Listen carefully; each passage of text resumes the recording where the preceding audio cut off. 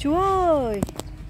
Tùng tuyết hay còn gọi là cây sơn tùng đây nha chú nhá Có nhiều loại lắm ạ.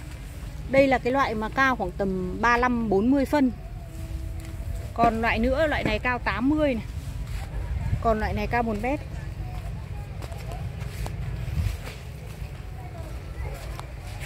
Hàng này cao 1 mét.